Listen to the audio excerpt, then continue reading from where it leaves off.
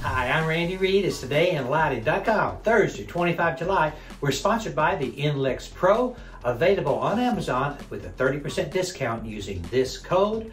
Our celebrity shout out goes to our good friend Tanya Hernandez of Acuity Brands Lighting. I've known Tanya for over 10 years now, and I think this picture was made in 2014. She really is a rock star. Good morning, Tanya.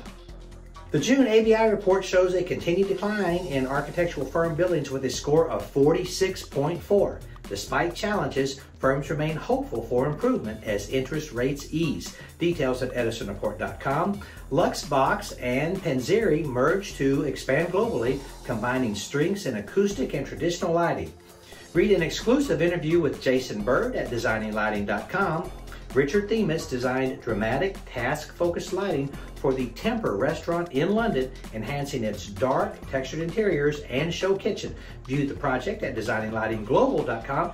Join Happy Circular Hour in Boston on 9 September for an evening of expert panels, networking, and sustainable product showcases. It's sponsored by Cooper Lighting and LMPG. Register at designinglighting.com. It's free for lighting designers.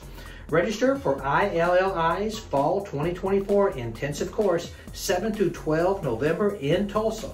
Enhance your skills with lectures, hands-on work, and networking. I met these people last week at the Sterling Summit, and I do think this will be a very worthwhile course.